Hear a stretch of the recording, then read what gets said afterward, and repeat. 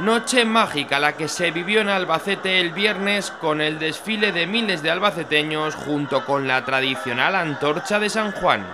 Que Albacete celebra a su patrón, a San Juan, y que además lo hace con fuego purificador y con la luz de la alegría, en una marcha donde el sentimiento colectivo, el sentimiento común, el sentimiento y las ganas de, disfrutar de todos los albaceteños Hoy arrancarán desde la Plaza de la Catedral, desde, desde las puertas del, ayuntamiento, de su casa común, hacia la feria con la procesión, con la marcha de las eh, antorchas.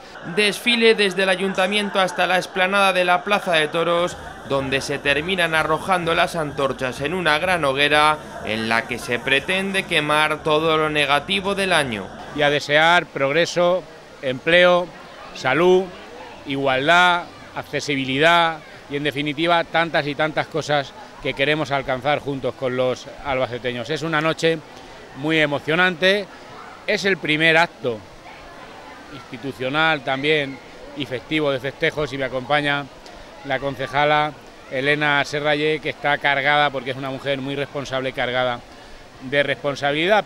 El entorno de la chata quedaba iluminado con un magnífico castillo de fuegos artificiales donde se congregaba gran parte de la población manchega. Manuel Serrano manifestaba la extensa agenda que había programado para estas fiestas. Es una agenda interesante, lo es también intensa y yo invito e incito a todos los albaceteños en nombre del ayuntamiento a disfrutar de ella, a vivir la noche de San Juan, a vivir este emocionante fin de semana en la ciudad de Albacete. La noche del 23 de junio siempre fue y será uno de los momentos más álgidos para la ciudad de Albacete.